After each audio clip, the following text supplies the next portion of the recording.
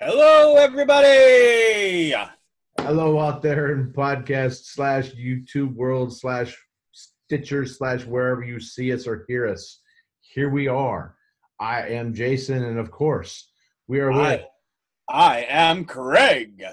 All right. So, as you know, if you didn't know, you should know because this is and the one and the only Bunny Rabbit's Hole. We like to take a different theme every week, and what we do here at the Bunny Rabbit's Hole is we d- explore that theme until each and every little topic comes up and it inspires us to co- go down a rabbit's hole. We go down that rabbit's hole until we explore it furtherly, and then we get brought back to the big, back to the main theme. I fucked a lot of that up. No, no cleaner. So what we do here is we talk about a main theme, then we go on rants. We come back to the main theme, and that's it. That's the bunny rabbit's hole. So end of ex- uh, the episode. So thanks and thanks for enjoying it. Uh, we'll see you next. right.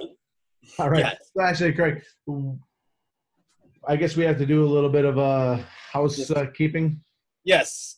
Um, on each one of these episodes, like Jason said, we we discover, we we pick a topic, we research it, blah blah blah. We research both sides, not just what fits our narrative, but both sides. Plus, we include our opinions, and our opinions can be somewhat offensive at times. So if you don't like that, get to stepping because we don't care. Exactly. Because this is entertainment, and as inter- all entertainment, not all entertainment is loved by everyone. I mean, some of the greatest shows in history were not liked by a lot of great critics. So, with that being said, let's get started. It's the Bunny Rabbit's Hole. Craig, would you please tell us what today's theme is? Today's theme is brought to you by the Wild Wild Outdoors, and it is Bigfoot, Yeti, Abominable Snowman. Says squat, squat, squat, squat. There's a squatch in them woods. yep. And Uh, I would have to say, you know, Bigfoot has been seen all over the world. I mean, there's. okay, I want to do this real quick. Yeah, For those ahead. that are watching on YouTube, yes, it's Yeti. Yes. my coffee cup is a Yeti.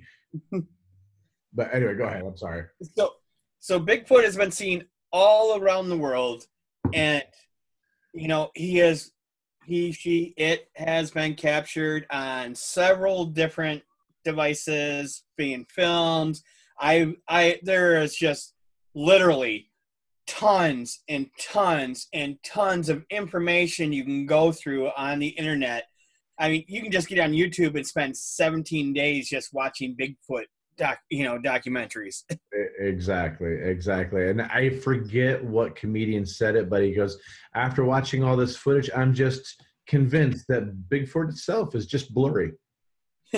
yeah. I forgot who said that, but it, that stuck with me.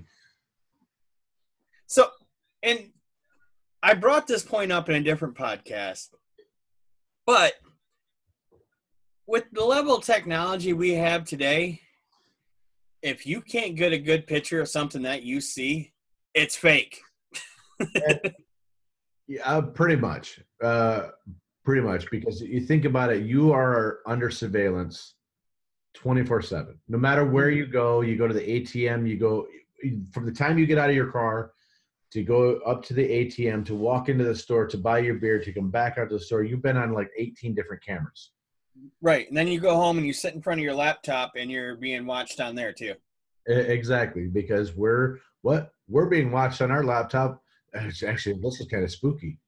They're watching us on our laptops as we're watching each other on our laptops, while others are watching them watching us watching us on a laptop. Fuck. That really degraded quickly. but so I will say this about uh, I want to throw this part out there about not capturing. I'm going to play devil's advocate about not uh, capturing Bigfoot on it. So there's been several instances within the last couple of decades where creatures that we thought were extinct for millennia have randomly appeared on on video footage. or like like the megamouth shark that just washed up on shore. Right. E- exactly. Oh, like I, the that's a perfect example. Another example I was gonna I was gonna give was they're doing a lecture about the Nautilus, which you, if you don't know what the Nautilus is, it's more than an extra piece of exercise equipment. It's like a little seashell crustacean that floats uh, it, in the sea. Thought it was extinct for almost a million years, and as they're fucking giving a talk about creatures, past creatures from the underworld, and they're talking about the Nautilus, a live feed from a robot sub that was in at near the bottom of the, the ocean, a fucking Nautilus for real, floats past the camera. Oh Jesus! And they went, whoa, whoa, whoa! And so they had to pan the camera. Yeah, it was. They they found the first Nautilus that was actually alive, that which something that they've only seen in fossils up until this is like ten years ago. Okay. So it's not out of the realm of possibility that Bigfoot has just not been captured on film. Because things like the Nautilus, however, the expanse of forest in the Pacific Northwest or you know the the mountains of the Himalayas or these other uh, you know the, the the northern territories of Canada yes they are not as explored as well as other parts of our country but they're not like the fucking bottom of the ocean okay Right. they're out there people are in those woods Yes. So, with all that being said, I am going to introduce us to the very first known documented footage of Bigfoot. all right All right. The time is 1967. The area is Northern California, and the person is Roger Patterson. Now, Roger Patterson had found these tracks on his land that were just huge, and they had like human-like qualities to it. And he cast plasters of these these footprints, and he had tons of those. But he was determined that he was going to ca- capture this thing on on film. So he started practicing with his horse where he would jump off his horse real quick, grab a camera, and start filming something. So mm. now him and some of his buddies, they're out riding a horse, and he's got his camera with him, and something startles the horse. The horse rears back, dislodges him from the horse. He jumps up, grabs his camera, and then he sees what it is. And this is where we get our first footage of a female Bigfoot walking across the screen. Now it's I mean it was when they zoom in on it and they cleared up the quality of it and everything like that. You could see its breast, so you knew it was female. okay Um, but um, you've seen this fo- footage, haven't you? yeah Yeah, I mean we've I remember seeing it when I was a kid, but now this footage at the time it came out, everybody's like bullshit. It's somebody in a gorilla costume, blah blah blah blah blah. Excuse, excuse. The shit isn't happening because we don't believe it, so it can't be real. But we'll believe in a fake being in the sky. Um. Anyways, we gotta get a dig on religion i love it so, um, within the last several years, that footage has been analyzed by professionals, and they have found there's been no tampering with it. They went and talked to people that did makeup at the time, like they talked to the guy who did um, ex- the Planet of the Apes movies, uh-huh who did the makeup for them, and he said that at that time when that footage was done, we didn't have those kind of costumes. We didn't have anything that. He's like that would that would so you said this was what 1967. 67. So, okay, to that point, let's think about the creatures that were in the horror films back then. We were looking at like live, like, um, was it uh, uh, The Night of the Shrew? It was a movie about giant shrews that came through and ate people. And then there was The Night of the Lepus, which was about bunnies. They used like little bunnies. They like actually, instead of like computer animated them or used claymation or whatever, they used like real animals that were like really really fucking tiny and they blew them up on the screen. So they used like this old ass uh, uh, film cropping techniques to make big creatures. But you remember look remember the early godzilla movies which were right around that same time period? You got a man in a fucking suit that's obviously rubber wrestling around with another man who's in a costume that's obviously rubber. Right. so just think of the time period compared to the monster movies of that time. If Right. the monster movies of that time had the effects to build a costume like that, they would have done it. Right. Yeah, and like the that um costume artist said that if they had something like that at that time period would have cost like twenty thousand dollars to make it. But he's like the materials weren't available to make something as intricate. I mean, because you when the the creature's arm is swinging, you can see the hair moving with it that's dangling down from it. You know, Right. it's swinging in the wind. They would have had to make that with like real wigs. Right. And at the at that time they didn't have anything like that. Yeah. and not to mention that the arms like okay being an artist i have to study anatomy a lot hmm your arms your fingertips when you go put your arm straight down will come mid thigh Yeah. now the the bigfoot's arms go below their knees Right. Right. you know so that's another i mean you look and you're looking at the the photo after it's been clear, cleaned up and as um what's this guy's name uh as jeff meldrum a phd a professor of anatomy and anthropology i don't know at what um, university but he is a bigfoot expert because he studied them for years but he said you know when they cleaned it up you can see the muscles moving on in the shoulder blades and stuff like that as the creature's moving Mhm. and I mean, you can when you when it's cleaned up, you can see all this stuff and go, they can't fake that. Not in Yeah. that time period. Today, yes, we could in a heartbeat, Yeah. but back then, no. With um, I'm trying to find it right now. There's, God damn, I can't find it right now. There's so there was recently there was a couple of horror films where um,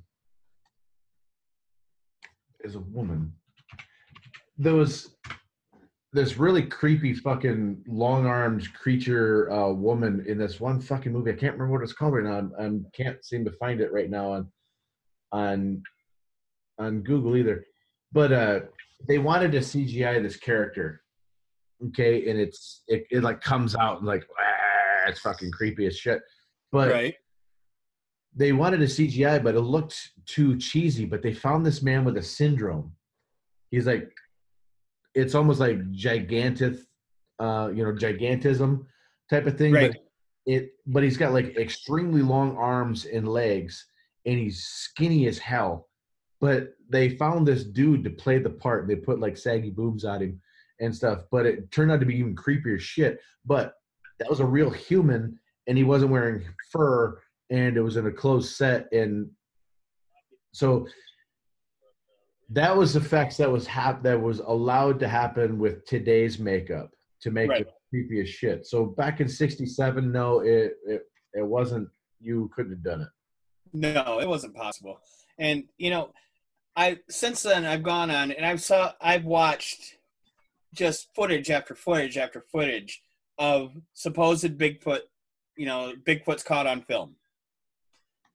Some of them, I'm like, yeah, bullshit. Some of them, I'm like, you know, I, I, I think that could be it. you know, yeah um, there was, I watched this video and really wish I had that time back. this guy is yelling out his window because he's seeing the glow of eyes at an area where nobody could be. You know, it's too high up. And I'm just like, there is nothing proven in this video. Yes, your dogs are afraid to go outside. It could be a fucking wolf. It could be anything. yeah exactly Um, so I, f- I found the dude that I was talking about. Um, the name is uh, his. I'm gonna f- slaughter his last name. It's a Spanish name. His name is Javier. I think it's Botet. Uh, and he's got something called Marfan syndrome, which it, it contorts his long legs. He's contorts his uh, limbs, so he's like Okay. fucking freaky as shit. But he's turned that into a career. He's been in uh mo- he's he was in the movie Slender Man that just came out recently. He's been Alien Covenant. Um he's been in a bunch of different spooky ass movies. Nah, Beneath the Waters.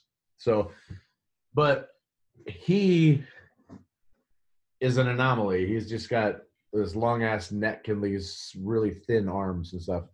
he could not play a Bigfoot woman because he's he's tall, he's but he's lanky and he's not furry. Like Right. And these creatures, I mean, like that creature in that film, I swear to God, her shoulders had to be three and a half to four feet wide. see that wow. You know, that is, for a human being, that is impossible. Mm-hmm. You know, and especially if, back then, if you're making a costume, there's no way you can make it that big. They Right. would have to carry it. So I'm glad you said that because uh, the I found this thing that was talking about the average uh, size of uh, Bigfoot is a minimum of it's between six foot nine and eight foot two is really the range that people are seeing this, and some of their footprints have been as as long as 24 inches long and eight inches wide. Wow. So,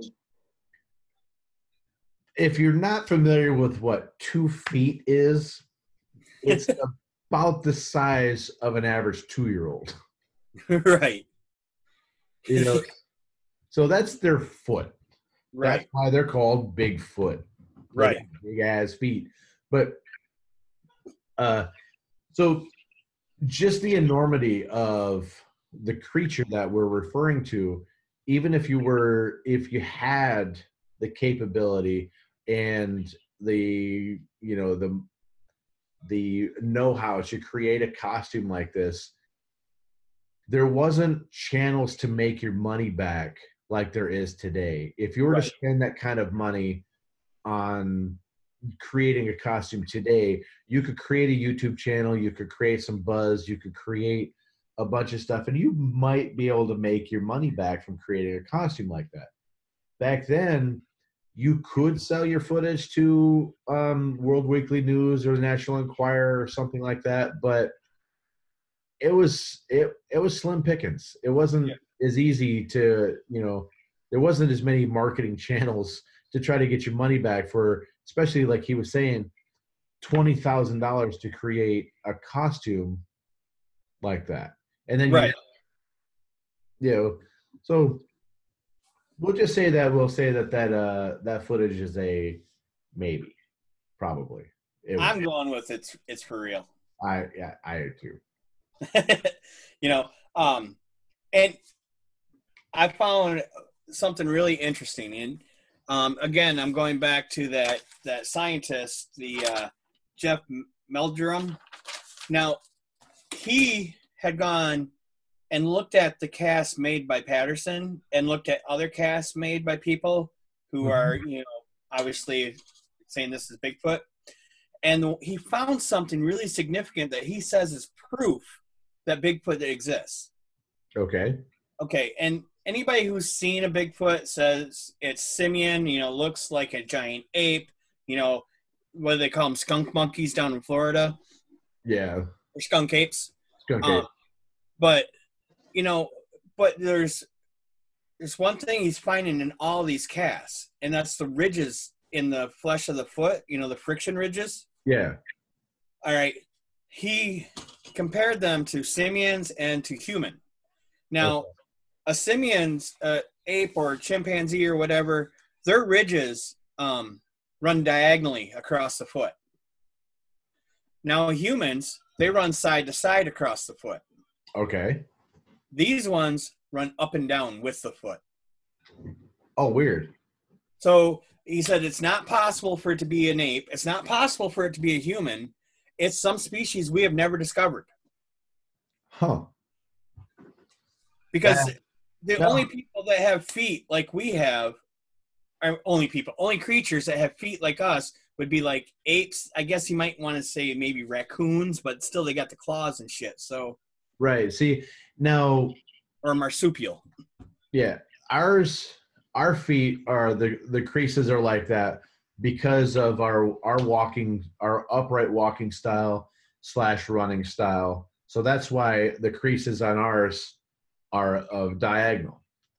Now, or straight across. The diagonal ones from them are from the the ape is like that because not they don't walk upright; they lean forward a lot and they kind of walk back and forth so their feet round when they walk. Plus, it's how they grip with their feet when they climb trees. Right. So creases tend to go on a diagonal pattern from the weight of their foot leaning down. It kind of when gravity makes their foot twist towards the tree branch. Right. When they walk, they kind of their feet kind of twist a bit because they're walking on all fours. Your feet would do that too if you just just walk on all fours for a minute and you'll see how your feet kind of twist when you do it. Right. But for the I'm having a hard time grasping how the ridges could go up and down on a creature that big that walks both upright and on all fours because if you read all the footage or you read all the stuff there there's I wouldn't say it's 50-50 but there's a lot of um, footage that would say that they they've seen both Right. because there's a lot of people that see them walking on all fours and then it stands right and walks towards them and then I've seen a lot of them where all they say is they walk upright Right. so, so I don't know if it's the combination of doing both. That's why the ridges would go north and south on their feet. So I'm I'm at a loss on why. Uh, you know, I'm he's obviously a doctor, so and he's Right. I've not witnessed the cast. I'm just kind of confused on why the ridges would go that way if they still walk. Maybe it's because the distribution of weight's different than the way we do because they walk differently. What it's been documented that you know a Bigfoot when they walk their knees bend, whereas uh, as humans our knees are more straight when we be- when we walk. Right. Yeah, that makes okay. I can see that. That's it's that's I like that. That's interesting. That it if if what he's saying is true, then it is in fact it has to be a new species. Right. Definitely. And Go ahead. I was gonna say it's not out of the realm of possibilities that there are bigger, you know, that there are larger species out there that we have not seen before because we're listing and categorizing new species almost every day. Right. And for those of you out there right now, there was a um YouTube video that I was actually just watching while we're we're talking about this. I had it muted, but it's best it the, it's by Taylor and Tate NCSW and it that's the YouTube channel and it's best Bigfoot trail cam photo ever. And this photo is pretty freaking cool. But it, it's basically a Bigfoot caught on a trail cam.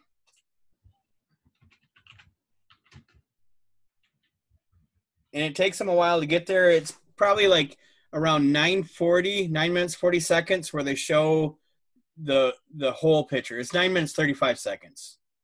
Cuz when they I was watching all they showed was like the feet, but they sh- they finally showed the whole picture.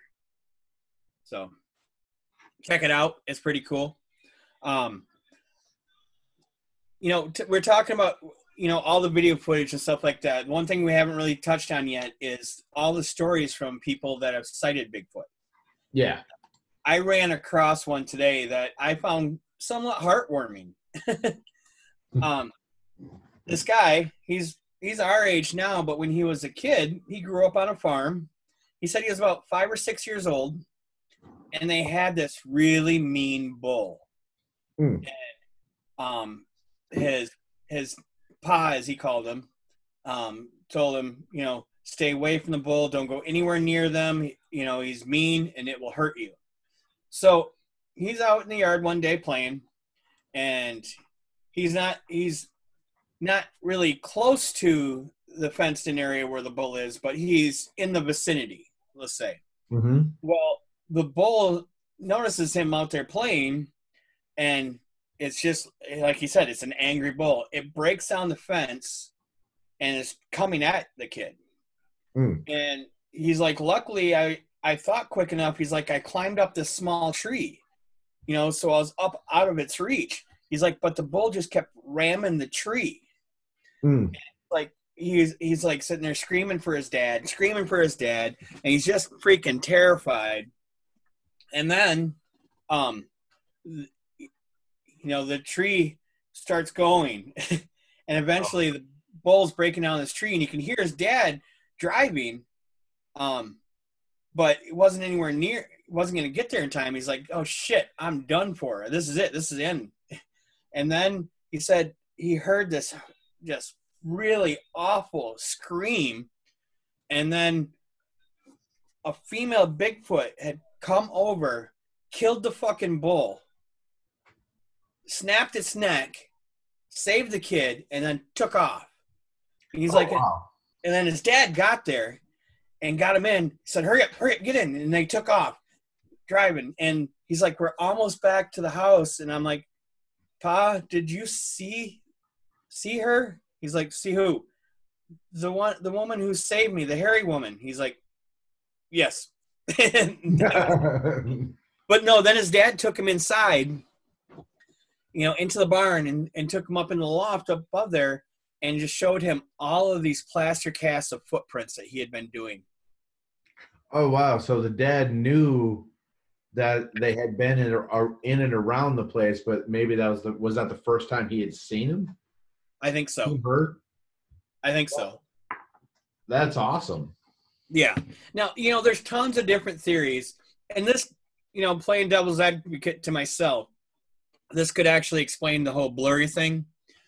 Um, but a lot of people say that if Bigfoot is real, they're extremely intelligent. They they know how. I mean, there's there's theories of dimensional travel. There's theories, all sorts of theories. of I, I wanted to go into that later. You know, is Bigfoot alien? Right. Or there's also, you know, that it can control its vibrations. And so Mhm. that's how it can just all of a sudden just disappear. Yeah. But they the if you go through native le- Native American legends and lore, you know, they talk about the Bigfoot. Um, but they say that um, they bury their dead much like we do, only they put them in a cave and cover up the entrance of the cave with rocks. Mm. Hmm. And that's why we never find a dead one because they they take care of the bodies. Nice. They take care of their own. Yeah. So I mean, they're extremely family oriented. They're extremely territorial. From things that I have I have found in my research. Now, I'll say this. I want to throw this a little bit out there too, because you kind of talked about the vibrations and how they disappear. Now, if you watch some YouTube clips on just military camouflage, there was one that I watched a little while ago about there was they they just showed like a, a tree line. It wasn't really a line. It was just like this field with dry grass and a couple of trees in it. And they said, "Can you find the sniper?" And you're I mean, they give you a good 30 seconds and you're you can even pause the video and start looking through the field. You kind of see think you can see where he is, but then when they start the video again, like six guys stand up. that Oh, you did not see in the whole video. You're looking for one person, but there's a shitload of them in there. So they're standing up, you know, they got like ghillie suits, you know, which are like those swamp suits Right. you know, if you don't know what a ghillie suit is, look at it, look it up. Um, they they just stand up, and but you couldn't see them, and you were looking for them. So this is us using, you know, all of our technology to try to come up with camouflage. Now, there's a difference between us using science to come up with camouflage and using generations of camouflage that you're was passed down to save your life. Now, we're using scientific method and whatever optical illusion and try to figure out this is something that they've come up with over generations on how to hide. If we can come up with this using science over the course of 100 years, you know, you give them 10,000 years of perfecting this in the field every single day, they're going to be invisible. Right. Yeah. Um, and it's the footage that I found. Like, there was one guy who set up um a one of those heat cameras. Uh-huh. know, he- A FLIR he sends- camera? Yeah, thermal. Yeah, and um, set it up so it was recording overnight. Left a candy bar on a stump, and you see the big Because Bigfoot loves Snickers. Yep. He's a right Twix man. right.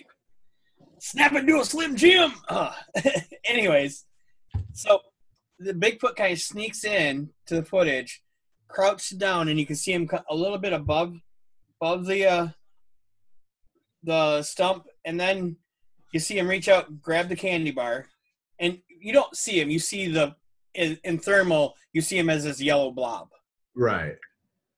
And then he takes off, and then comes back. And one thing that so many people have said is like when big they see Bigfoot standing still, he's swaying.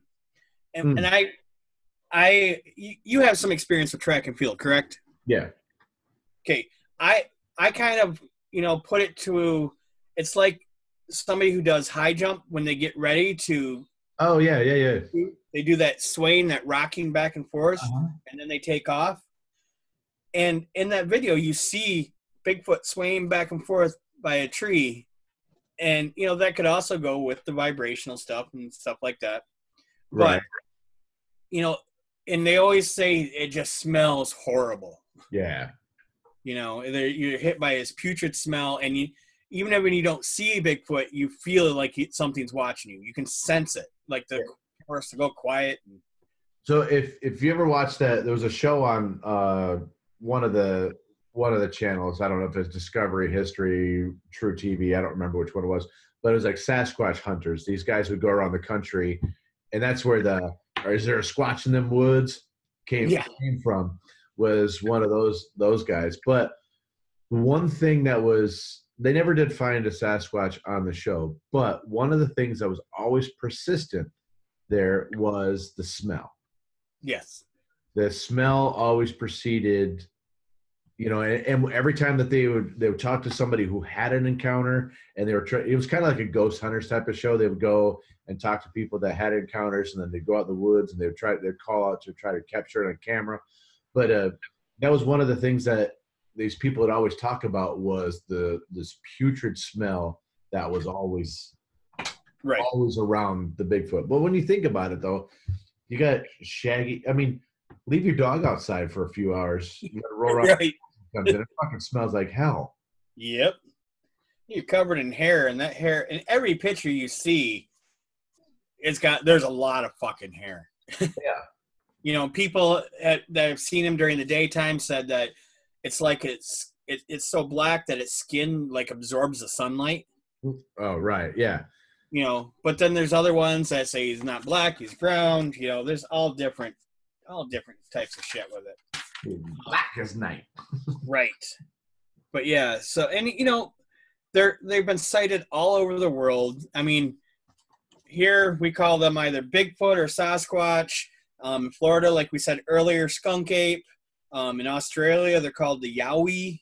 Um, they're the Yeti, I believe, in the Himalayas. Mm-hmm. Um, oh, there it is. Uh, Almas in Mongolia. Uh, skunk ape, the grassman, the Ohio grassman.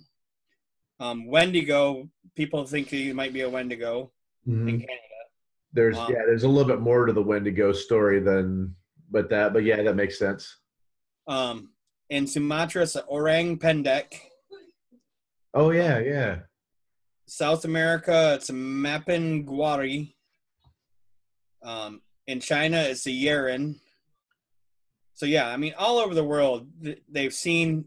There's been just reported sightings of Bigfoot. They call everybody calls him by a different name, but when it comes down to it, giant dude yeah. covered in hair, smells like Yeah, there's Gigantopithecus, which is an uh, earlier form of man. He's well, I guess a Gigantopithecus. It's not a human, but very. It's a it's a humanoid hominid.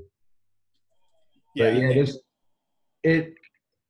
So I look at all that because if you look at um uh all of the all of um the different iterations of it and you look at you parallel that with us humans and they're like well are they all different species are they all the same or i just kind of feel like there was kind of like with with humans there was a tribe of humans and then they spread out and then their bodies evolved and to fit the climate that they're at. Now, Right. I feel that we'll just, for the lack of a, a general term, we'll call them Bigfoot. They had a central tribe, you know, 10, 15, 20, 100,000 years ago, whatever it was. And then they started moving on. Like maybe it was when we had Pangea, where all the continents were together. They decided to spread out a little bit. And as the continents spread apart, they spread apart. And then they started evolving into adapting to the climate that they're living in because like the yeti obviously is white and Right. it, it lives you know in the snow area kind of like a polar bear is white and it right. you know so you know and their their the color of their fur changes to help with their camouflage. it, exactly you know so they fit in they fit into their environment better so they're like with bears they're bears it's still polar bear grizzly bear brown bear black bear you know they're still bears so like bigfoot they're still bigfoot even though that they're they live in separate areas they're just adapted to their climate so i think they're still all the same Yeah. Um, another another good YouTube channel to go to if you want to check this stuff out is NVTV. Um, NVTV. yep, N it's just NV then TV. So, Uh-huh. But they have just tons and tons of footage of Bigfoots, Mm, big feet. big What is the plural Bigfoot? Bigfoots. so, but I mean, some of it, like I was watching from this Todd guy. They had some of his film. I can't remember his last name, but he's supposedly a renowned Bigfoot hunter. hmm And you know, I'm looking at this and I'm like, going, no, that's not. You know, then I started thinking about the logistics of creating a costume to look like that, and then, I mean, you the eyes, you, you see the eyes on these things, and they're not human eyes; they're animal eyes. hmm And so I'm like, going, okay, well, that could be, you know, some sort of contact, but they're the size of the eye was huge.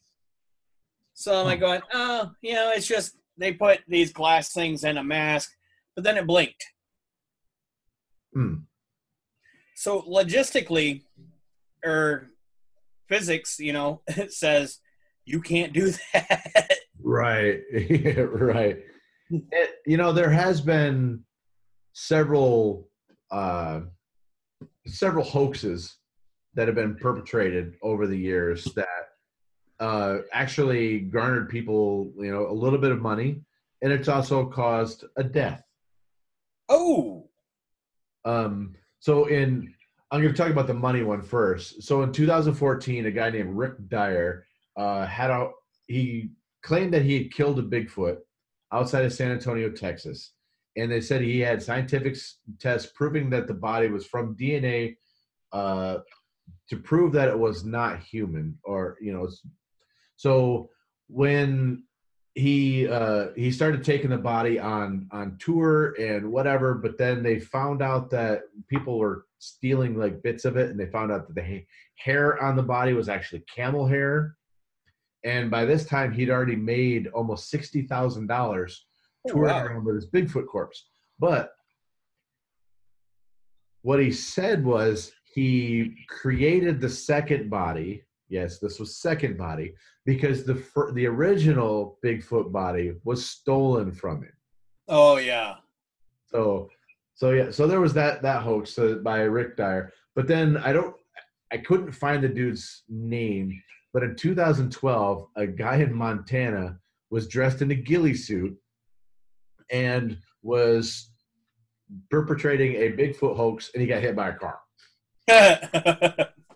So, and you know, he was trying to apparently he was trying to scare people into thinking that there was a Bigfoot on the side of the road, and they hit him.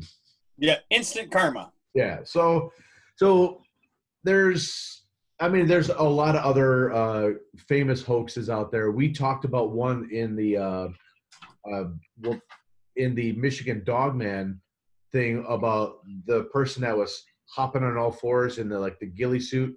Right. That one ended up being. It was. Was it really a, a werewolf? Was it there? It was actually. Uh, it was their friend. So there's there's been plenty of hoaxes out there that are really campy. And then the one I love the most, though, and I'm going to go back to something you said earlier too in a second. The one I love the most, though, is the nonchalant footage that everybody knows from being Bigfoot, where he's just kind of like strutting. You know, it's the old, old grainy black and white footage where Bigfoot just strutted. It's old film. Dude Yeah. shot an eight millimeter film. Now, there's still back and forth on it. Was it dude in the gorilla suit? Was it a real footage? So there's I've seen and I've researched a lot of this lately. It's still up in the air on whether or not it's real or not because they there's claims that the guy who shot the footage came out and said it was his buddy in a gorilla suit. But then there's footage, there's claims that said that no, that was a lie. So I'm just gonna let that one stand as great, great cinema. right. But what I wanted to go back to was talking about that footage of the female Bigfoot that we talked about before. You said because they went back and analyzed the film and said that it wasn't tampered with. Right. Now, I want to talk briefly on how they do that process. And they do this with a lot of footage. You can take it and you can do this with Photoshop and you can do it with a Lightbox. And there's a lot of other, even like more expensive programs. Those two are just simple uh, Adobe products where you take an image and you can put it into uh, you put it in there and then you actually you can break the footage down by contrast by tone and uh, when you do that you can look at the actual footage and when you look at it it'd be like a pixelated black and white thing if it was layered in any way with something that wasn't taken at the exact same moment it would stand out as a different color black and white than everything else that was on there.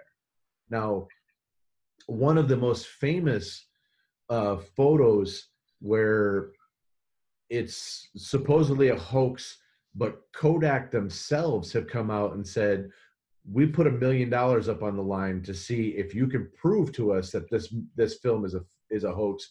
And that was the the um, the um, uh, the spaceman, the uh, Firth, Colin, or um, was it uh, um, Colin Firth spaceman? I think it's something like that. Uh, Okay. Firth spaceman. That's what it was. It's a little girl with an alien and looks like an, an astronaut standing behind her. This guy was taking a picture of his daughter taking a picnic in the 50s, and it was a series of three pi- pictures. The pictures, the one picture is his daughter sitting there. The next picture, is his daughter sitting there again. Now there's an, uh, a spaceman. It looks like a, a modern day astronaut over the top of her head. And then the third picture was no no spaceman. So, Okay. If you think about it, the time it took to take film pictures, and the girl does barely move in the picture, so the whole thing could took taken less than 30 seconds to take all three pictures. You click, you focus, you click again, you focus again, you click again, and that was done. He didn't see a spaceman when he did it, but when they developed the film, it was there. Kodak has since analyzed the film, and everybody else has analyzed the film, and they they can't prove that it's fake because you Hmm. use the same spectral analysis that I was talking about with those other programs to look at this stuff, and you can't, you know, the it's all it's all one layer. Right. So you use a lot of that stuff to that's how you can if you see a, a picture on online, you can easily run it yourself and see whether or not something is is obviously a hoax. It's not that hard to do. Anybody with a you know Adobe Creative Suite has access to the tools to look at this stuff. So Right. if they've already done the analysis on that and it it's obviously one layer, all the stuff was shot at the same time that takes out that it was special effects. Now it goes back to was it uh you know a costume which we've already debunked that it couldn't have been a costume because these schlups that took the video didn't have the didn't have the funds to create a costume of that elaborate order Right. with the with the, the materials the time the money that were available at that time for them so I think we have one that is a very good possibility of being actual footage of a Bigfoot from what you said 67 Yeah, 67 by Roger Patterson. Yeah. So look that footage up. I just did it. I, I looked at it again. I'd seen it a while ago, but it's it's very convincing. When you you have to take a lot of. I mean, there's you have to take the good with the bad. Just like Bigfoot is a lot like what uh, alien encounters. You there's a lot with aliens. There's nine fucked up stupid stories for every one that's possible. Right. Bigfoot is a lot like that. Now, Bigfoot, you and I, we, we've talked off camera multiple times about aliens and Bigfoot. We talk a lot. We talk a lot, a lot of shit. But and the peanut gallery sitting over there has had to listen to a lot of this. Yeah. We we talk a lot of bullshit about this stuff, but I mean, we, we talk about it because it's passionate to us. But with one thing that we've always talked about was Bigfoot, because growing up around the house that you got, you you you and your brother grew up in, you had a thousand acres of state forest Yeah. out the back door. Yeah. we used to run around trying to find werewolves, trying to find the Wendigo, trying to find Bigfoot, trying to find all these fucking, you know, pixies and sprites and elves and whatever the fuck was out there in the woods. We wanted to find this shit. Right. And see, I'm glad you brought that up because I was actually talking to my brother about this earlier this week. Um, because when we were kids, we actually found in the snow a footprint that I swear to God was about two feet long. Oh wow. And everybody tell us, oh, well, the sun does that by coming in and, you know, melting the snow around it. Like, if the sun did that, it wouldn't have been so deep. Right. So uh, I want to I want to talk in that briefly too because about about I want to talk about that point because yes, if you're walking in the snow, there's times where your foot can if you those of you who don't know what snow is, it's a white powdery shit that comes down in the wintertime. But when you step in it, sometimes your foot uh, if you don't pick your feet up all the way because the snow can get deep, you have a tendency of dragging your foot and then stepping down. Yes. So when the snow uh, snow melts or packs over time, the gravity brings it down, it will elongate your footprint. But it will unless you're unless you're doing the moonwalk, it is not going to make your footprint two feet. It Right. may turn a size nine into a size sixteen, but that is still nowhere near two feet. especially when at that time the snow in our yard was up to my knees Oh wow. but the footprints were spaced apart and there's no there's nothing disturbing the snow in between Oh damn. So for us to walk through the snow we're creating a trail you know all the way through with no break between steps because Right. there's no other way to do it because of how deep the snow was but this was like somebody stepped through it Was this across the backyard? uh yes So I'll I'll, gonna, I'll set the environment up a little bit. So you guys had like like two and a half, three acres cut out of an evergreen forest with Right. a two-story home that was kind of built into a hillside. That from your kitchen window you could see the entire backyard. right But looking out that back window, you guys could have seen the tracks from there. yes and then we went out and checked them out Yeah, so you know, you you you put your cereal bowl in the sink, you could have seen these fucking tracks going across there, and I'm just trying to set the scene up because, and then outside of those of the evergreen forest on either side of your house was like a thousand acres of deciduous forest. Right, with swamps mixed in and Yeah. So, and we've talked about we've talked about the woods ar- around your house growing up quite a bit, but Yeah. So that I like that story. That's that's pretty damn cool. as a kid, I was terrified of Bigfoot. And there was times when I would feel like somebody was watching me through my window. Mind you, my window to the ground because there was a back deck behind there, my window was in the corner of the house. So I had a win or my bedroom was in the corner of the house. So behind one window there was a deck where somebody could be standing there looking in. The Mhm. other one, the other window was probably about 10 foot off the ground. And that's the window I always felt like somebody was watching me from.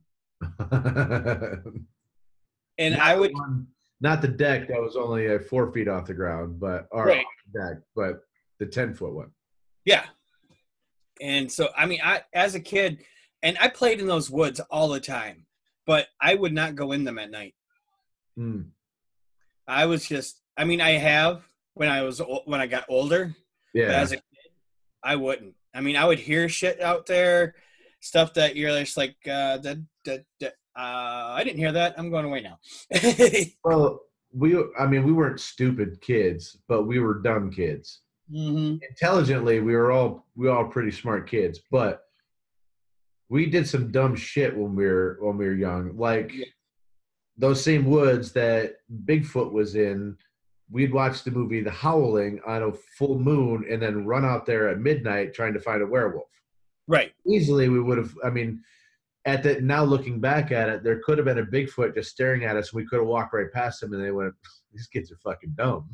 Right. I'm right here. right. But again, highly intelligent creatures, they'd have to be Yeah, to avoid clear detection. Let's say clear detection because they've been detected. yes. But what we're also talking about too is, um, they have to be on a certain level empathic Right. because why else would the female uh, Bigfoot? We got to come up with a, a, a, a, you know, a feminine version of the name female or Bigfoot. Right. But when she would come out, she came out and killed the bull to save the child. So there's obviously there's an emotional connection with these creatures that they, you know, what is their purpose here? Is it here to observe? Are they like the Watchers from from Marvel Comics? but instead of being up on a asteroid staring down at us, are they here just observing? It's hard to tell. And here's see, right near you is one of the biggest Bigfoot sighting areas in the world. Yes. And Yes. that's up in Vancouver area of Canada. Yeah. And I live in the shadow of Mount St. Helens out here in southwest Washington. And if you don't know this area of, of the country, from where I live all the way up to Vancouver, Canada, is essentially, uh, with a few pockets here there, is essentially forest. Yeah. It, I mean, DB Cooper came up missing in the same area, and we found his parachute, a little bit of money, but he's never been found. So, you know, so there's a is it's expansive. So, to say that a creature uh, could live around in and around us and not be seen, yeah, I could I could say that because Mount St. Helens, I can look out my back my back window and see it. It's only like 50 miles as the crow flies, but to drive there from here, it takes almost two hours Wow. because you have to take different roads and windy Yeah. and all this other shit because of the hills and stuff. And there's hills and valleys and stuff that that are completely uninhabited by humans. Yeah. So it's and this is just my area down here. We're you know, I'm I'm 20 miles from downtown Portland. You know, so we have a a million we have a city of a million people, you know, 20 miles from me, but just north of me, 30, 40 miles is expansive wilderness that there's nobody. So this very easily you're about to say Yeah. something. Yeah. Oh, there's Um, very, I'm glad you brought- they could hide. I'm glad you brought up Mount St. Helens because doing my research, I ran across a video about the Mount St. Helens government cover up for Bigfoot. Now, we were talking about this before before we started filming and um, I- you think you said it was like around 1980 the Mount St. Helens erupted last time. Yes. Okay. Well, during that eruption, and it was a big eruption. It wasn't just a little poof, uh, you know. Yeah, like two It wasn't like a 2.2 trillion square yards of earth was moved. And Yes. I'll, here, I'll give you an idea how big of an event was. There's this lake that's right next to it. It's called Spirit Lake. It was when this. Okay, first of all, Mount St. Helens used to be 11,000 feet. Now it's 8,300 feet Oh, after wow. the eruption. And all that, when it slid down, it actually took a lake called Spirit Lake, and it sh- all the the debris from the mountain went under it. And when it all settled, Spirit Lake is at 800 feet higher in sea level elevation than it was the day before. Oh wow. So it was a pretty big eruption. Right. So, as with most, you know, national emergencies and shit like that, the military comes in to help mm-hmm. out. yes.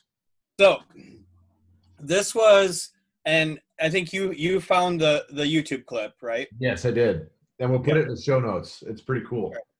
Um, the this guy was in the military at the time, and he's telling the story. You don't, I mean, they they show pictures throughout the the um the YouTube video, but it's nothing that's real accurate to what was going on. It's just more for reference. hmm Um, but you know, I think some of it are even illustrations. But so he's in the military, and he's just a he's just a grunt, you know, private or whatever, and they're he gets to where they're supposed to go, and they're in this tent, you know, getting ready to go look for look for survivors, you know, in the wilderness because some people lived in the wilderness Yeah. he said this Native American came in. I, I believe he said it was Native American. I could be wrong on that point. Um, if you watch the video, though, you'll know. hmm But so came in, and he's like, this really big, hairy guy was with him, and he's like, and you could tell the guy didn't want to believe. He didn't want to believe it was a Bigfoot. He didn't, you know, or anything like that. He's like, but this guy was like eight, nine feet tall, hairy, stunk, and he would talk with the the other guy in real low tones and stuff like that. And you like never heard what he said, but from there we were loaded up into trucks and we were we would go to different sites. And at each one of these sites we went to, there'd be a cave. And when we'd get there, the the he's like the big guy would let out this noise and then wait and he'd be answered. And at that point he would go into the cave and then come back out, whisper something to, you know, or say something to the other guy, and the other guy would direct the, the you know, the squad to go in and retrieve the body. And then when they found it, like he's like the first one they found was just the guy was the body was just covered in burns and stuff like that, and it was barely hanging on. And he's like he saw a tear go down the cheek of the large hairy man. Where that's what I'm going to continue to call it because that's what he called. It. And then they left, and he's like, you know, he, he saw the resignation in the face of the creature, and the thing turned and left, and he's like, we had to follow, and he's like, probably about ten to fifteen seconds after we left the area, we heard a gunshot. Put it out of its. And he's like, then the bodies were loaded up, and he's like, and we went, we kept doing that. We'd go to spot to spot, and sometimes he wouldn't be answered, and you know, sometimes, you know, he'd be answered and they'd be fine. You know, he'd go in and he'd come back out and say, okay, we go to a different area, blah blah blah. But and he's like, and we were after afterwards we were debriefed and told that we were never allowed to speak of this. Hmm. So I mean, I found that just fascinating because you know I've also saw other ones where you know like a squad like back in the early '90s, a squad of Navy SEALs took out a pack of Bigfoot, big feet, big foots, big fucking big guys Yeah. But they were considered out of control and in the process they lost one of their own and i mean this mission took them three days to carry out and they were told to bring one back alive but the squad leader said after how, seeing how violent and stuff they were he said fuck that and they killed them all you But- know, it. I mean, that's unfortunate that. I mean, it's unfortunate that they would have to uh, to resort to, you know, having to kill kill them like that. But well this is also the government so is Yeah. it they were out of control or was it they were in part of the land that the government wanted yeah, I mean, because they they probably don't take blankets, and we can't put the smallpox in the blankets to kill them off that way. So right you know it but at the same time it was navy seals these are some of the most highly trained specialized operatives that we have in our entire military. Right. It took a whole pack of them to go after a bunch of Bigfoot, and they still lost one of theirs against a force that was unarmed. They Right. may have had rocks, they may have had sticks. You know, obviously, Bigfoot has been around long enough to be able, and they're smart enough to create, you know, weapons of their own. But these are highly trained, highly specialized forces with automatic weapons, and they Yes. still lost one of their own. Right. Well, and from stories I've heard, you know, people saying, you know, they've shot one and it just didn't face it, the creature at all. But I mean, you think of something that size. I mean, you you hear about people who go bear hunting and they have to have a huge, large caliber weapon to kill it. yes. Right. Well, Bigfoot is bigger than a bear. Wow. Yeah. So that's something to consider as well. and they're also interdimensional. hmm Yeah, because I mean, if you're taking this automatic weapon that is shooting so many rounds per second, it can't Mhm. do it at the velocity as like a big rifle that somebody uses to kill a bear. So it's going to be like a BB gun to this thing, Right. Similar to the you know red-headed giant that we talked about in that one episode. Yeah, though, uh, redheaded giant from Afghanistan. Yeah, Yeah. but you know it's just. But I've heard, I mean, ran across so many different things. Like one person, um, there's a channel I can't remember it. The, this guy created a, a big Bigfoot documentary channel because he was terrified by one at one point. Um, he was he had leased this land, I believe it was in Tennessee, um, from this guy so he could hunt on it, and he spent like half his time out there in that that land. He said one day he was hunting and he ran almost face to face in with one of these things, and it terrified him so much that he he stayed out of the woods for 15 years. wow. So, but so he started up this this channel and like, or no, this is a different channel. Anyways, but there's like I said, there's just so much information that it's overwhelming. Yeah. But this person talks about, you know, how they can communicate somewhat. You can go out there and like one of the things is knocking like wood against wood, and like you'll get a reply Hmm.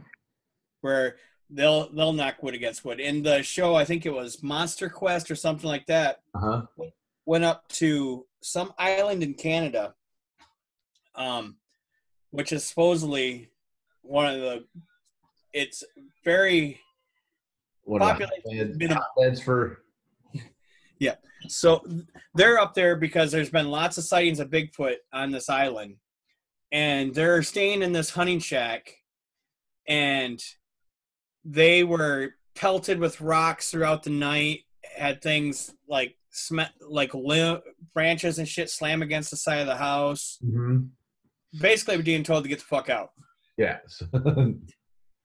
But you know, I I've seen I there's so much there's so much information yet I still ran into very few Bigfoot attacks. yeah. There's very few. There's uh, you when you go through, you read a lot of like the fucking thing chucked a boulder over our boat. It wasn't Right. trying to hit us. It was trying to scare us, or you know, it was breaking branches near us or pushed a tree down towards us. But very seldom do you hear one that's like, yeah, the motherfucker beat me up. You know, Right. Bigfoot did it. Right. I did find one and I think it was more because it was protecting itself. Yeah. But You know. Which is the nature of any any species, self-preservation. You Right. see that in a in a toddler where they learn to lie, it's self-preservation. It's you know that's that's that's uh that's in our heredity. Now, there's a couple things that I, uh, one aspect of Bigfoot that I wanted to uh, discuss, and we kind of glossed glossed over a little bit and ta- said we talk about it is whether or not Bigfoot is not from our planet. Dun dun dun So I have a couple of different little stories here that kind of pose the question. The first one happened in uh, it was December 9th, 1974. It was a dairy farmer by the name of William Bostick. He's from Frederic, Wisconsin. He was uh, returning from a co-op meeting at about 10:30 p.m. and he was nearly slammed. He, he nearly slammed into a UFO that was on the road in front of him, and because the bottom half of it was shrouded in fog, he didn't see it. Locks up his brakes, and inside or came out of the outside of this transparent dome came out a six and a half foot tall ape-like creature with reddish brown fur covering its body except for its face had distinctive pointed ears and it was and then the other one was operating the control panel and then um, it kind of checked him out a little bit after the accident and then got back in and disappeared so Huh. they the creature running the ship was exactly what we refer to as a bigfoot but it was a little bit shorter than what normally we refer to the height of a bigfoot because like we talked about before six foot nine plus Right, and that's the first time I've ever heard of it having pointed ears. oh yeah yeah and a lot of times it's black fur.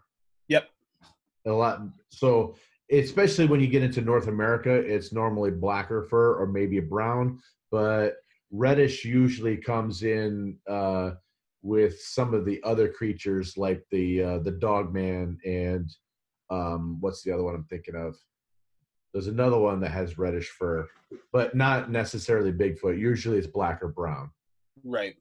Or if white with the Yeti. Yeah uh, depending uh, north american Right. ones. Uh, and then the second one is closer to my area out here. It was in Rutland, British Columbia, up in Canada.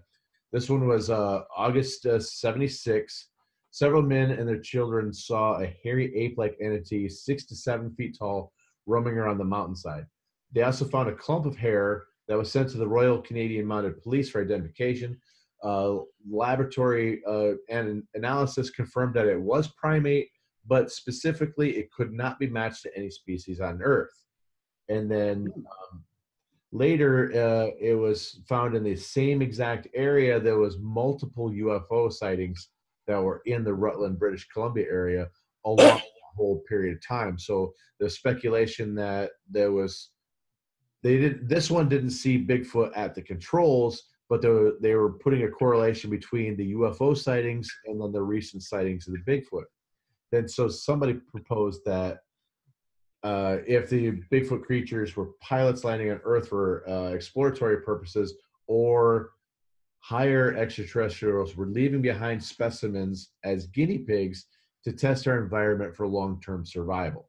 So whether or not that they're put out there to see if they can actually live in this environment, and then they're doing studies on said Bigfoot later to see if they could actually terraform our planet or inhabit our planet themselves. Right.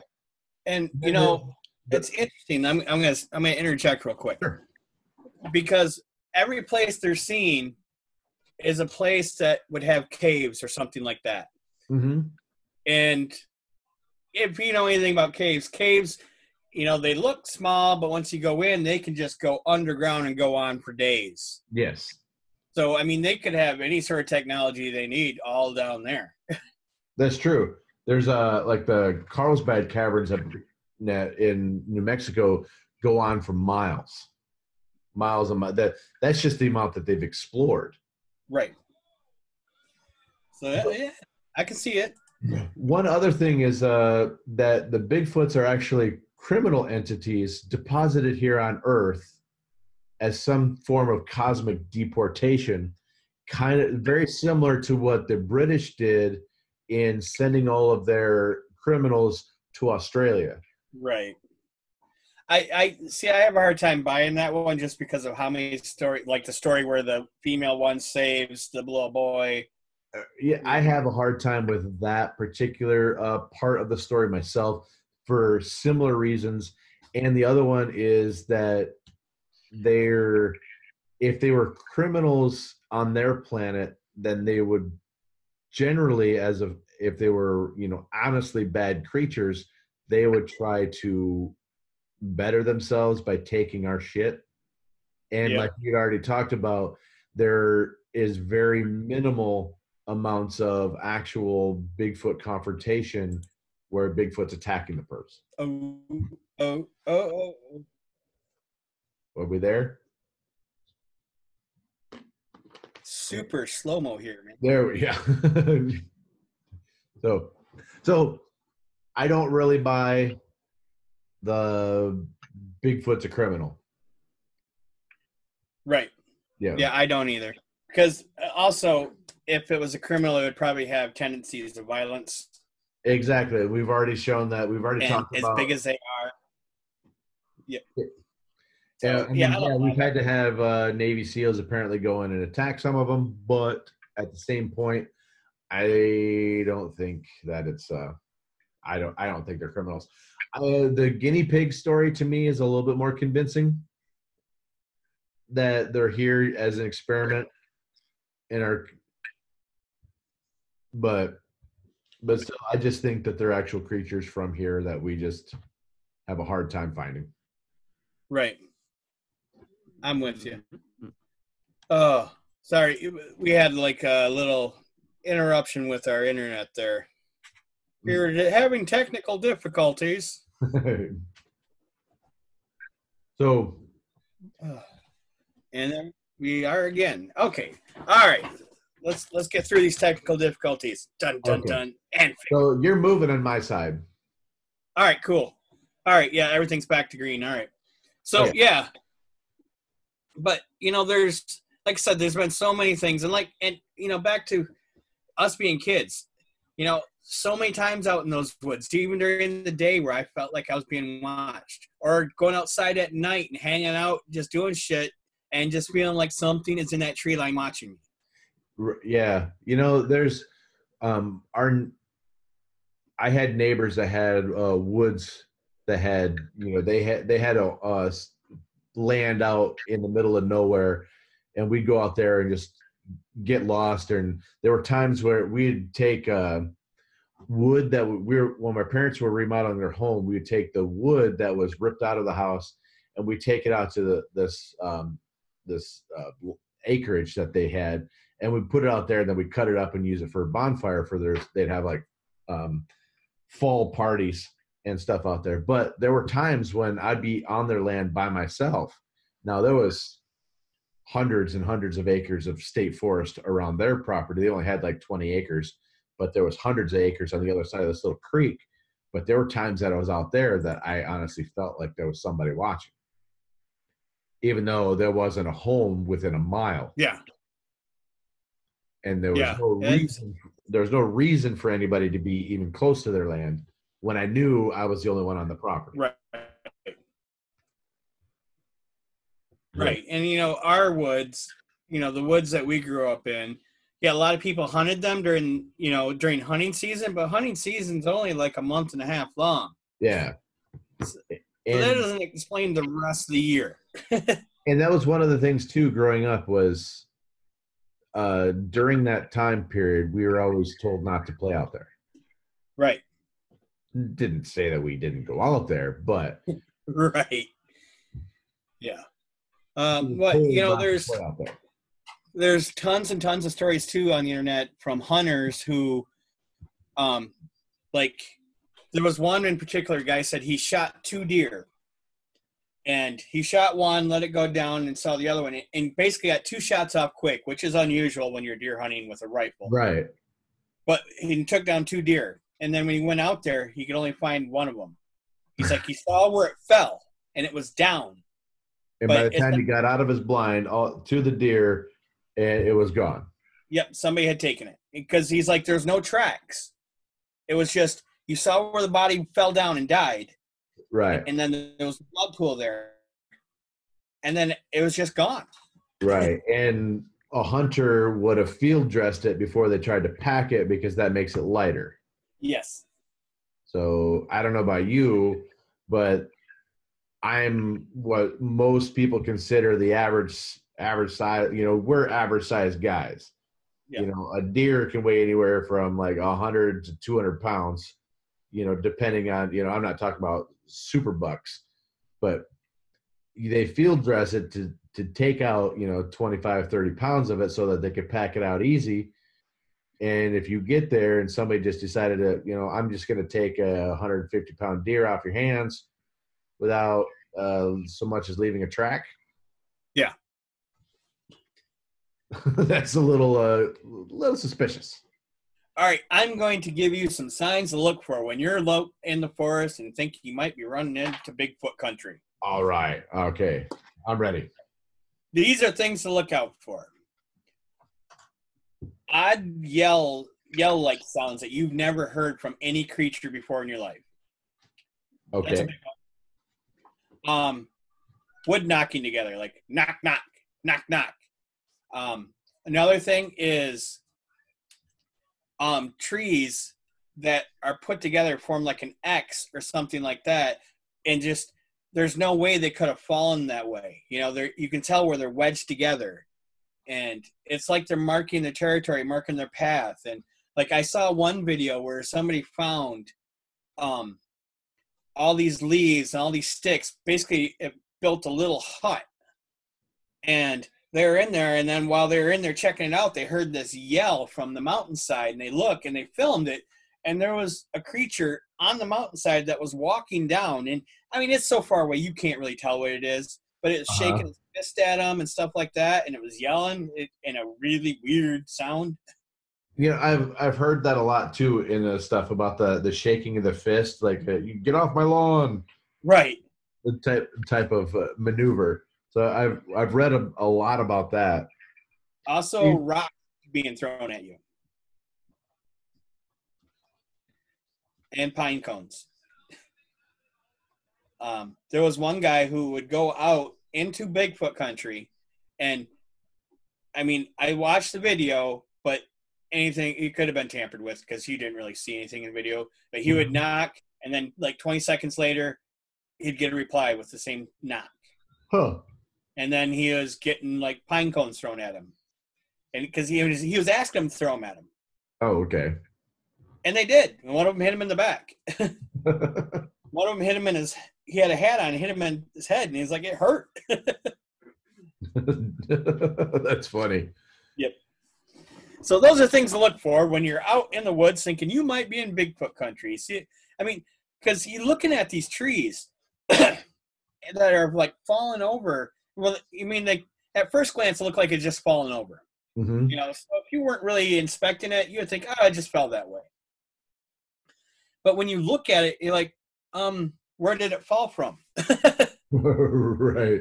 Why? This- the if the wind was going to push the tree over, they wouldn't have pushed them together like that because that would have meant two different wind blasts would have to come in opposing directions.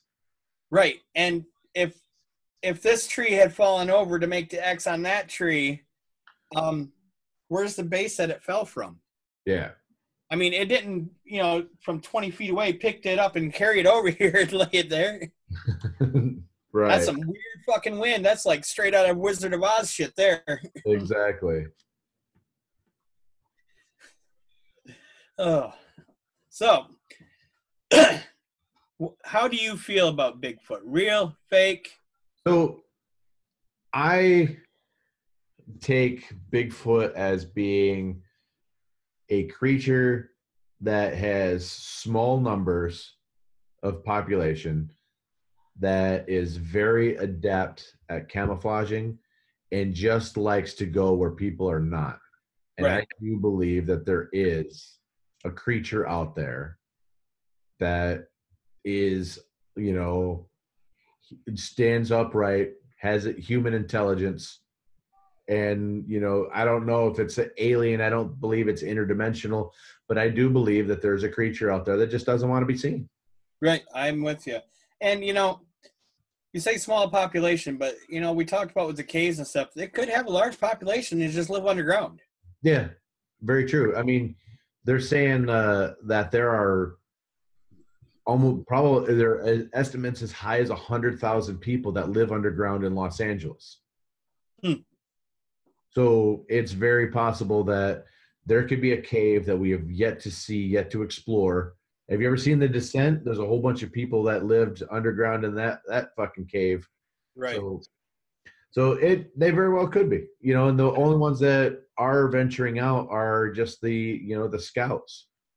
Yeah, yeah. Just check and see. Okay, have they have those fuckers ruined this forest yet? right. So it it very uh, Bigfoot to me, I do believe that there is a creature out there that is, you know, that we just haven't seen. There's like we talked about before. There are tons of species that are being you know defined and, and found every single day right yeah i mean it's it's amazing to me because when you think about it how intelligent they have to be to avoid being seen. Oh definitely. And you know they have to have some extraordinary sense to let them know when we're nearby. And just think about like indigenous tribes. Well okay we'll go with the um the the Sentinels, they you know there's somewhere between 50 and 500 of them on that little island off the you know off the coast of Senegal, you know, but in the Indian Ocean there. But year or generation after generation after generation, they've taught each other to shoot any stupid fucking Bible bringing motherfucker that comes to that island. You know what? And they're to me that makes them smarter than the rest of the population. Right. Oh, you know, going back to your criminal theory, I bet you that was brought up by Republicans. They're immigrants. They must be, you know, right. criminals, rapists. They're, un, they're, undocumented. Get them the right. fuck out of here. you know, there's a good chance that Bigfoot has been on this earth longer than we have. Oh, especially if you go by the Bible, because we've only been here 5,000 years. Did you hear that? Right. Yeah. well, you, you kind of like stop there. Like, oh, technical difficulties. No, we're done. But uh, it's when you think about um, how creatures uh, evolve through throughout time. Like take like a, a horse, for instance, or a deer, something like that. Their instincts that I mean, it's their biology that gets them from birth within minutes up and walking. Yeah. Because if they don't, they die. Right. That something will eat them if they don't do that. So they evolved. Yes, evolution is real. They evolved over time to make their biology allow you to walk within minutes of taking your first breath outside of the womb. Now, us as humans, we haven't evolved to that point yet where it still takes nine months to 14 months to take your first step and then it, it takes another couple years before you get your balance. You know we haven't we haven't evolved to that point but so if a horse and a deer and a cow and all these other creatures can evolve to the point where they can get up and start walking and running with their mom within literally within an hour of being born yeah. is it so far fetched to say that a creature could have it in its biology to learn how to hide in plain sight over time. It be that's their biology. They they've evolved to that point. It's basically the um, primate version of a chameleon. Yeah. You know, I mean, chameleons. That's a defense mechanism. I mean, there's there's fish that have the same type of defense mechanism. It, it, that's why the underside of a shark is white.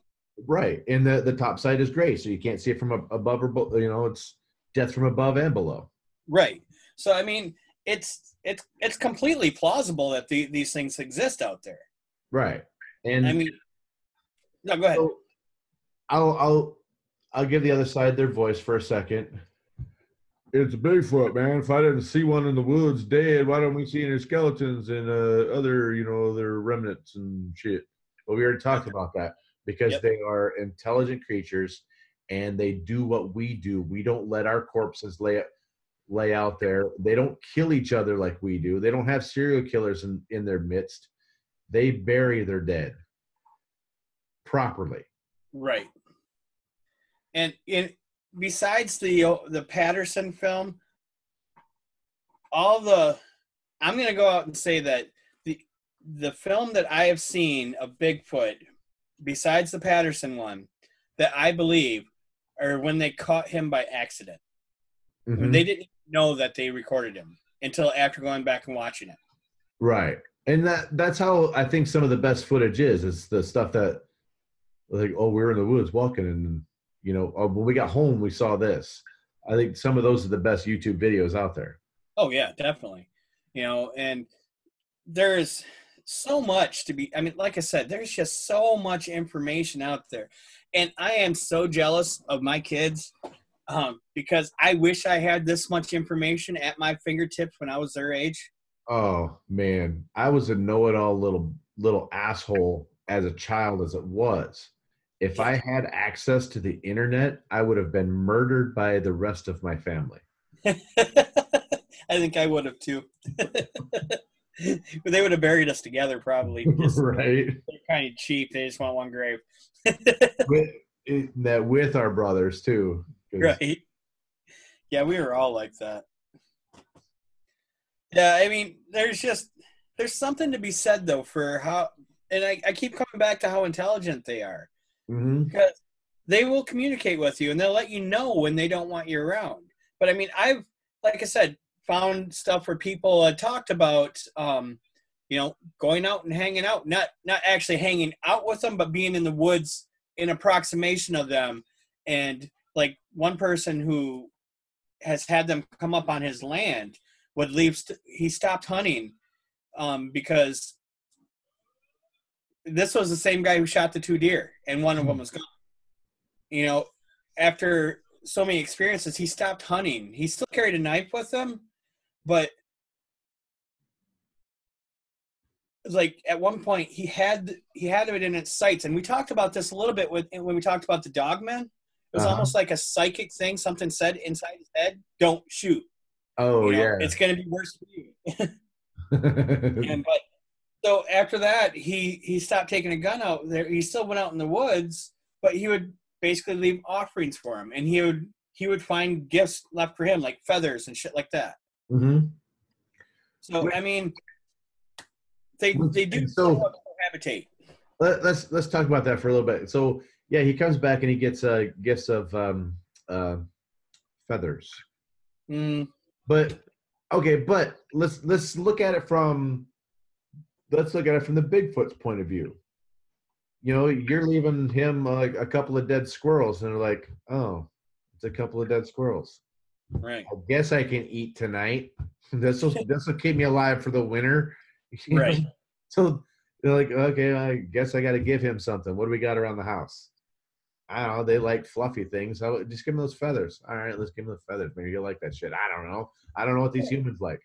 So You got to think that you know they make because when they take a carcass, you don't see the carcass anymore. So you got to Right. think maybe they use all of that shit. right, kind of like the you know the the um the Eskimos, the Inuit or whatever whatever they're called up there. They when they kill a whale, they use every bit of it. Right. You know, so you know, and so they they probably do the same thing. which you know to be honest we uh, as a society now do that with pigs and cows we use every bit of it because the slaughterhouses have figured out how to monetize every bit Right. of it i mean hell they even sell the blood And Ew. yeah Uh, uh, you- you were frozen there for a second. yeah they Uh, so there's but it, it's cool that they're resourceful enough to i mean they understand it's like they don't kill a deer every day we have to use every bit of it right. yeah so Well, unless you're some big game hunter who's just basically somebody who's hunting to measure their dick. Right. And, you know, fuck those people. Yep. Fuck those people. Now, I do, okay. Uh, A, quick, quick side note on game hunting. Now, a lot of the big game hunting things are actually done by the game reserves because sometimes they have a lion who's just a prick. He's a prick to all the others. And instead of shooting the lion themselves, they offer it up to big game hunters for a huge sum of sum of money to come in and take it off their hands and then they use that money to help out the reserve that's how a lot of they make a lot of their money so there Right. is some validity to big game hunting you know they Right. it, helps uh, a lot of these some of these game reserves because sometimes uh, an animal's an asshole it just needs Right. to go but uh, but you know if you measure your dick by the size of uh, the rarity of an animal that you shot when it's not going to shoot back and you're shooting it from a half mile away uh, you know it's, it's just so many there's so many pussy things Yeah. You want to impress me? Take your rifle into the ghetto and come back with come back out. right you know Good chance you're not. there's you know there's there's some backwoods in in uh, Siberia. You know, Yeah. You walk out there at night and see what you, see what comes back. So, you know, you know you're already heading to you're already heading to Africa. Go to South Africa. There's certain parts of South Africa. You stay loaded. You know, Yep. keep your gun and see what happens. Yep. So, but anyway, getting a little off traffic. Uh, I'm going to bring us back to topic this time. So, now that we've we've we've discussed the possibility of Bigfoot being an alien, Bigfoot being blurry, uh, Bigfoot being a hoax, Bigfoot being uh, real, Bigfoot being part of the military, being Bigfoot being attacked by the military, uh, Bigfoot being Interdimensional travel. inter, interdimensional travel, um, you know, alien spacecraft pilots. And we've talked that you've you've mentioned that you do believe that there is a Bigfoot. I believe that there is a Bigfoot. Where do we go from here to help people find Bigfoot themselves? Well, we've listed off what to look for, Yes, um, but my advice would be leave them the fuck alone. perfect. That's the best advice that anybody could give. Searching for Bigfoot. Don't don't run around saying that there's a squatch in them them their woods because there is. That's all you need to know. Right. If they just want to live in peace, let them. And chances are, if you're in the woods by yourself and you get that weird feeling that somebody's watching you, just keep walking. Right. Yep. If if there's a set if if it's a woods that you're familiar with and there's always this one area that just creeps you out, don't go there. Yeah. Yeah. Because there's a reason it creeps you out. It's because you're not wanted there. How about this? The next time you think that that, that part of the woods is creepy, there's a bear in that woods and it's going to eat you the next time you go there. So Right. don't go there. now you can get people going out hunting bear. Uh, right. Right. God damn it. Yes. But So, in summary, we've Yeah. talked about all these different theories and ideas about what Bigfoot is, could be, um, and some scientific evidence. The the ridge prints and the tracks, which I thought was really cool. yeah. So, I mean, there was some scientific discovery. There's some scientific backing. Mhm. and lots of skeptics and you know i'm not saying that every footage that you see on youtube that shows a bigfoot is real i'm going to say like maybe 10% of them might be real and i'm saying might Right. And the chances are, if it's on YouTube, there's a good chance it's not real, right but watch it anyway. yeah because it's interesting Yeah. and it's better than watching fucking tv that's the same old bullshit recycled Or it's uh, shows it's it's shows from our childhood bastardized for a commercial profit, or we just steal shit from Europe. and Right. Japan. Yeah. So, all right. So wrapping this up here. Today we talked about Bigfoot. Bigfoot's awesome. This, Yes. of course, was the bunny rabbit's hole. I, of course, am Jason. With, of course, of course a horse is a horse of course i don't know i'm craig it's Craig. So from all of us to all of you, insert tagline here. This is the bunny rabbit's hole. i think that is our tagline Yeah. All right peace out people Bye.